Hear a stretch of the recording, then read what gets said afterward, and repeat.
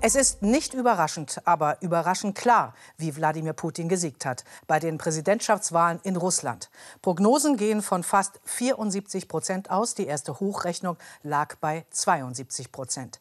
Etwa 110 Millionen Menschen konnten bis 19 Uhr ihre Stimme abgeben. Auch hier in Berlin gab es heute eine rege Beteiligung.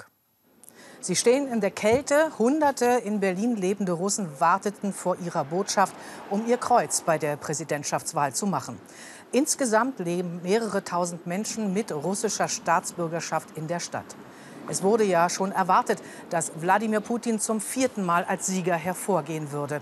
Eine kleine Oppositionsgruppe demonstrierte und kritisierte die Abstimmung als reine Krönungszeremonie für Putin.